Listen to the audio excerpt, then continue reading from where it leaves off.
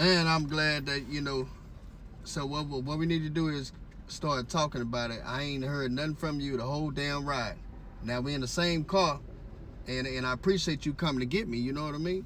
So The only reason you in this car is because we need to go do these taxes. That's it. do what? You heard what I said. Nisa, first first of all, doing these taxes, that should better us. That should get us going. you know, that should get it going. You know, we can start over a new life together with new money. You understand what I'm saying? I understand about It's the other not. si- Nisa, I, I under-. I understand about the situation, okay? But damn, sometimes this shit gotta stop. Now the whole ride you ain't said shit to me. Because I don't have nothing to say to you. Man, that's crazy. That's crazy. You know, we up in the same damn car. We husband and wife. You, you understand? You came and got me. Did you think about that when you was talking to Miss Betty? No, I didn't think about that. Okay. No, no, no, no. I didn't think about that. And, and, and, and, you know, I apologize for that. I don't care. You, you lied. Wow. You lying. Wow. So you telling me we just can't get right with this? We I can't. can't get right, We can't. huh? Can't.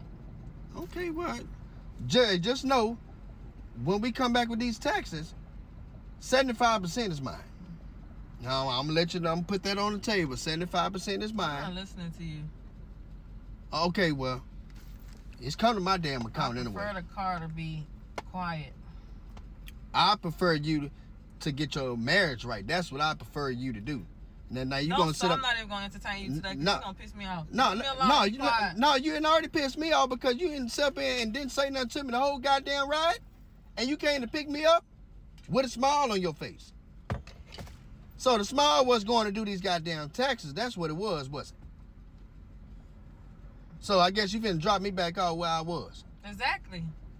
Oh shit, you done lost your damn mind. So you telling me that all we it was just business. Business. That's it. That's all we got from from here on out.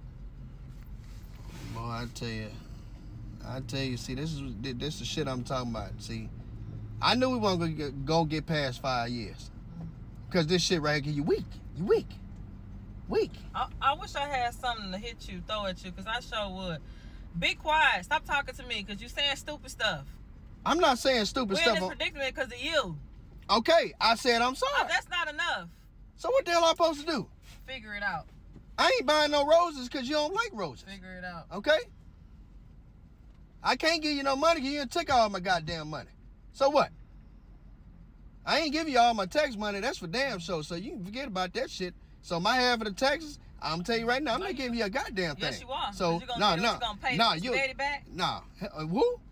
No, she ain't getting no goddamn money back either. You got her money. That's all I'm saying. I didn't get shit out of I don't want to talk to you no more. Be quiet. Okay, all right, whatever.